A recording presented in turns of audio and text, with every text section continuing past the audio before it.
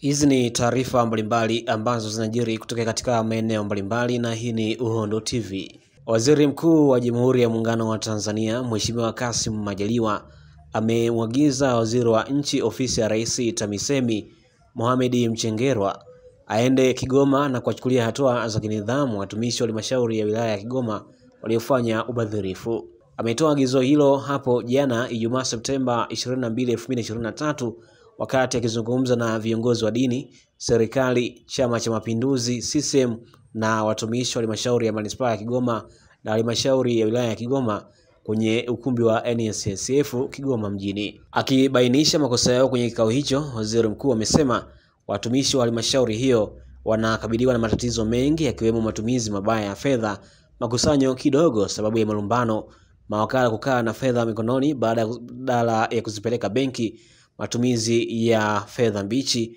baraza la madiwani kukosa taarifa za fedha na kutumia fedha za miradi kulipana posho. Sasa ili mradi halmashauri hii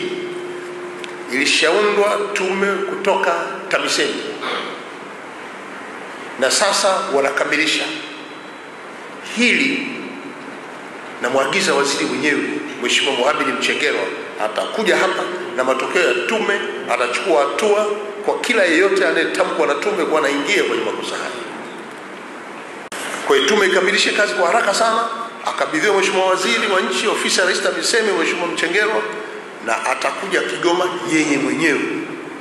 kuja kuchukua hatua kwa kila ambaye anaguswa na tume hiyo.